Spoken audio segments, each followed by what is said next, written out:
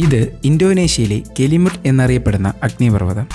ഈ അഗ്നിപർവതത്തിലായി മൂന്ന് തടാകങ്ങളുണ്ട്.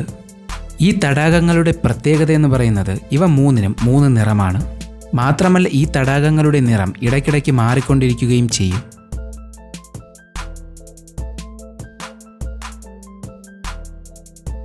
ഇത് വാട്ടർമീൽ എന്ന ചെടി. ഇതാണ് ലോകത്ത് പൂക്കളുണ്ടാകുന്ന ഏറ്റവും ചെറിയ ചെടി. മാത്രമല്ല ഒരു ഉറുമ്പിന്റെ അത്ര മാത്രമുള്ള ഇതിന്റെ പഴമാണ് ലോകത്തെ ഏറ്റവും ചെറിയ പഴവും.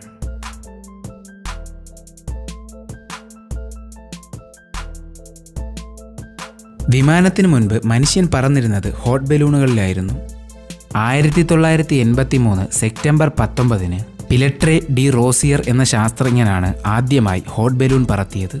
ഇതിലെ ആദ്യത്തെ യാത്രക്കാർ ഒരു ആടും ഒരു താറാവും ഒരു കോഴിയുമായിരുന്നു. ഇത് പതിനഞ്ച് മിനിറ്റോളം പറന്നതിന് ശേഷം താഴേക്ക് വീണു.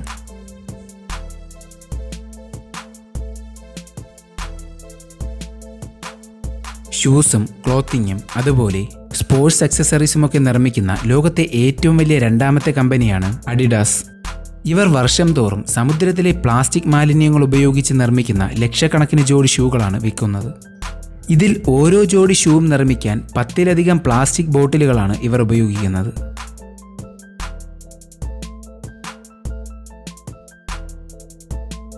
നമ്മളിൽ ഗൂഗിൾ എന്ന പേര് അറിയാത്തവരായി ആരും തന്നെയില്ല. എന്നാൽ സത്യത്തിൽ ഗൂഗിൾ എന്ന ഈ പേര് വന്നത് ഒരു സ്പെല്ലിംഗ് മിസ്റ്റേക്കിൽ നിന്നാണ്.